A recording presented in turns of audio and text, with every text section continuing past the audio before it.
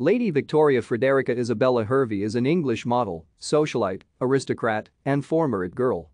She is the daughter of the 6th Marquess of Bristol, half-sister of the 7th Marquess, and sister of the 8th Marquess and Lady Isabella Hervey. Lady Victoria is the eldest child of the 6th Marquess of Bristol and his third wife, Yvonne Marie Sutton, and was born on her father's 61st birthday, 6 October 1976. She is the elder sister of the incumbent 8th Marquess of Bristol and Lady Isabella Hervey. Her older half-brothers were John Hervey, 7th Marquess of Bristol, and Lord Nicholas Hervey, both of whom are deceased. Leka, Crown Prince of Albania, stood sponsor as one of her godfathers.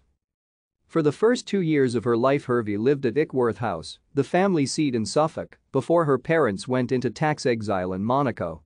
At the time of her father's death in 1985, the family was living in an apartment at 1E4 Mentor, Avenue Princess Grace, Monte Carlo, but still employing a butler and a nanny.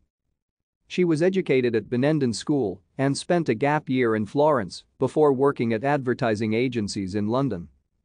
After Hervey turned down a place to read French and history of art at Bristol University, her mother stopped her allowances and she reluctantly became a receptionist for producer Michael Winner.